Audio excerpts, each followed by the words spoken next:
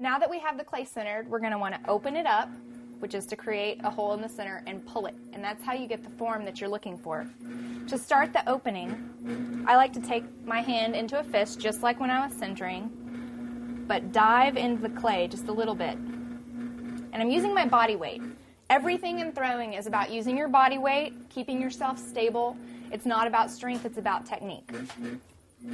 And then you want to take your left hand and put your forefinger in the middle and push down and bring that out. Your right hand now is what's staying stable. You see, my weight is on my wrist here. I'm pulling towards that. So I'm not letting the clay push me around.